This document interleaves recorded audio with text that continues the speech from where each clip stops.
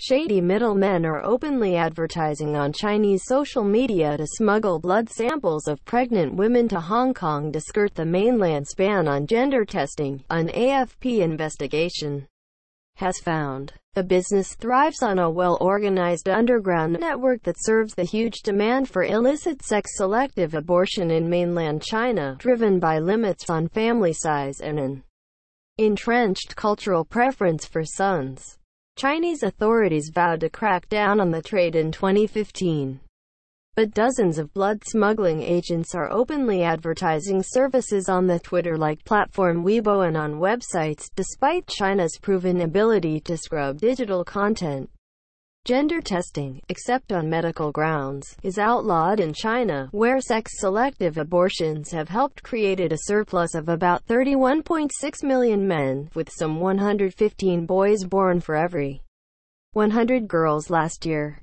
A long-standing one-child policy was eased to permit two children in 2016 but gender testing continues, with many parents of daughters trying for a son the second time around. Gender testing is legal in Hong Kong, with some clinics apparently turning a blind eye to the origins of the smuggled samples. Three agents contacted by an AFP reporter posing as a customer offered to arrange in-person appointments with medical testing labs or transport blood samples to Hong Kong for around US 80. Promising results starting from six weeks into pregnancy. Upon payment of a deposit, the agent sends a testing kit to the client through a delivery service. One advised using an app to hire a nurse who could come to the patient's home in mainland China to extract blood. Nothing will go wrong. The client sends the blood sample to Shenzhen from where it is smuggled across the border to Hong Kong. The agents did not directly address questions about how the samples would be transported, but assured the reporter they would arrive safely at their destination. They will be taken to the lab in a designated vehicle. The samples can be safely sent over for testing. Nothing will go wrong, one representative said, adding that results would be sent out in one working day. Other agents use human smugglers.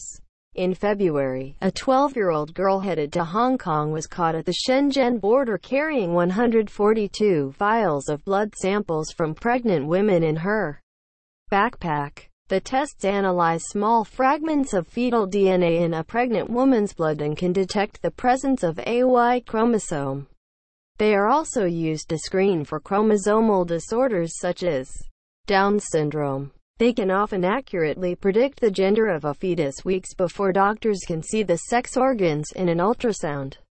Some mainlanders take the legal option of traveling directly to Hong Kong for gender testing. I have three daughters already. To be honest I want a son, a 39-year-old man surnamed Wang told AFP outside a lab in Kowloon where his wife was getting her blood tested. Wang, who circumvented the one-child policy as many well-connected or wealthy Chinese families do, said he was under intense parental pressure to produce a male heir and had made the journey from the southern province of Guizhou. Chinese people still want to have a son to carry on the ancestral line. This is an antiquated way of thinking, but back home there are lots of people who think this way, he explained. He added he and his wife would terminate the pregnancy in China if it turned out to be a girl. Right now she's only about 50 days along, so it can be solved by taking some medicine, he said. Ethically unacceptable. The trade raises questions over the willingness of Hong Kong labs to ignore their own rules. According to industry guidelines, laboratory technicians should not test blood without a patient referral from a local doctor, and risk losing their license if they do. It is illegal to mail or transport blood samples out of China without a permit, but Hong Kong only outlaws importing blood samples if a person has reason to suspect that it contains an infectious agent. The city's Department of Health told AFP the number of cases it investigated every year has tripled since 2016 but none was prosecuted due to insufficient evidence.